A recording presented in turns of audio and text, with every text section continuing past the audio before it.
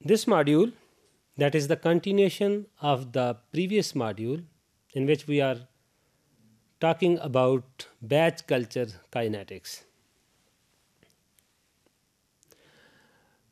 So, as I have to already told you that in kinetics we will see the relationship of different parameters that gradually change during the fermentation period.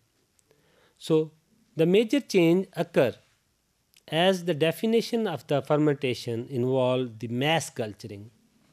So, when there is the addition of the inoculum, then there is a gradual change in the number of the cells or we can say that gradually increase in the biomass of the cell. So in short we can see when with the respect to the time as the time will pass growth will happen. When there will be a growth then there is the increase in the biomass. So we can say that there is first there will be a lag phase and then there will be a log phase. So in lag phase no increase in the number as I have already told you in previous module but the size of the cell can enlarge. But especially in exponential phase or a log phase number of cells also increased. In short, we can say that there the exponential phase may be described as the microbial growth pattern. You can see here this simple 2 x naught, 2 mean double, x naught is the amount of the biomass which we add as in an inoculum. So as there is different multiplication of that so there are different generations.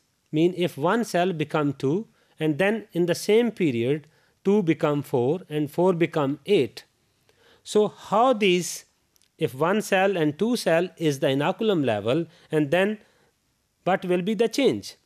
So as increase the generations and there is the same pattern of growth then there is a exponential change in the biomass with respect to time.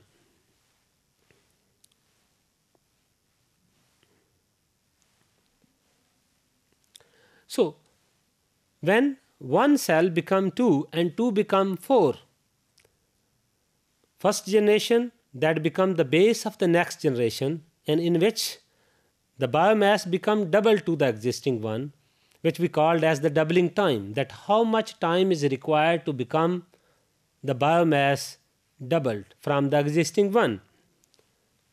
So, that is only possible when all the cells autonomously and individually become doubled.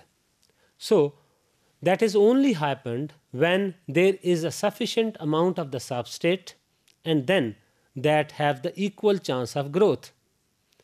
That is only possible when each and individual cells, especially in case of unicellulars, or we can say that uh, in term of bacteria and the yeast, then the cell become grow and then how they become doubled.